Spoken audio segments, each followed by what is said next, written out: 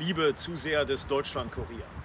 Nach einer jüngsten Umfrage von INSA steht die AfD nun immerhin bei 15 Prozent.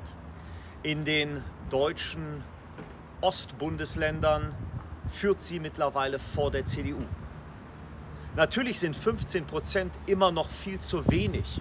Bedenkt man die aktuelle Krisensituation, die fehlgeleitete Corona-Politik der letzten zwei Jahre, die fehlgeleitete Sanktionspolitik gegen Russland im Rahmen des Ukraine-Konflikts, die die eigene Bevölkerung bestraft, anstatt die eigene Bevölkerung in dieser Notzeit zu unterstützen. Ob es die fehlgeleitete Zinspolitik der EZB ist, ob es die enorme aus all diesen Fehlern sich entwickelnde Inflation ist. Wenn man das alles berücksichtigt, müsste unsere Partei längst bei 20 Prozent und mehr stehen. Trotzdem sind 15 Prozent eine richtige Entwicklung, eine Entwicklung, die Mut macht. Wie oft wurden wir in der Vergangenheit schon totgesagt? Wie oft hieß es, die Partei hätte ihren Zenit überschritten?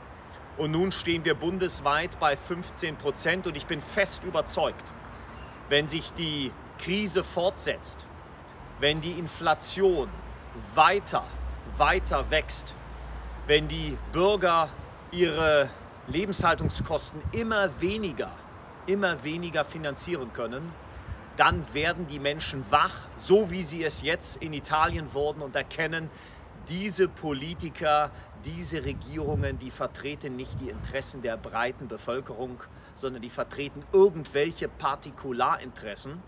Aber das Mandat, das die Regierungen eben haben, das ist das, das eigene Volk zu vertreten und seine Interessen.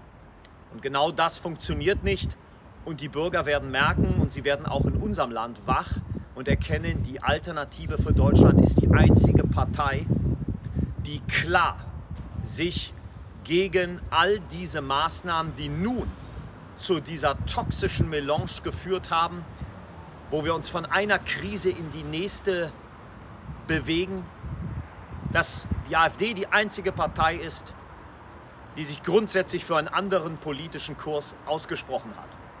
Wir erleben eine Bundesregierung von Schaumschlägern, eine Bundesregierung von Politschauspielern, die hilflos überfordert wirken und dem Bürger nun weiß Gott nicht zeigen, wie man aus dieser Krise herauskommt.